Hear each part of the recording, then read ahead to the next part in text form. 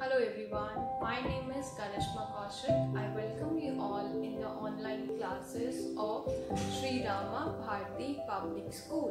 आइए आज हम my book of art and activity के पेज नंबर नाइन पर pointed and rounded zigzag lines बनाना सीखते हैं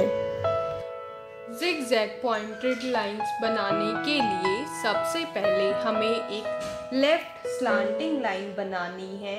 और जहाँ पर हमारी लेफ़्ट स्लांटिंग लाइन ख़त्म होती है, वहीं से हमें एक राइट स्लांटिंग लाइन बनानी शुरू करनी है।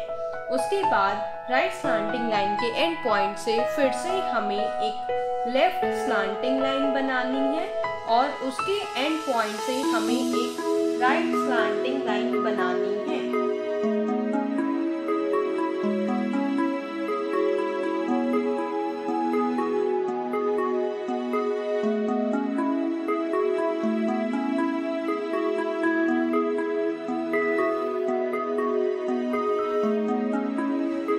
राउंडेड जिगजैग लाइंस बनाने के लिए सबसे पहले हमें अपनी पेंसिल से